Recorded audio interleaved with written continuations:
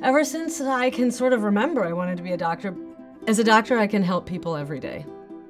Preventing diabetes, heart disease, arthritis, all kinds of adult problems that we now know are caused by choices that you make early in life, like with sugary drinks.